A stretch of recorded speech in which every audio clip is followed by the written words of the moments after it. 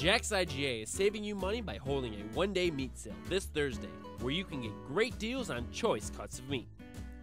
Country style spare ribs are just $1.19 a pound. Tender, tasty New York strips and ribeye are $4.99 a pound. And chicken leg quarters are only $5.99 for a 10 pound bag. Shop early, sale price is good while supplies last.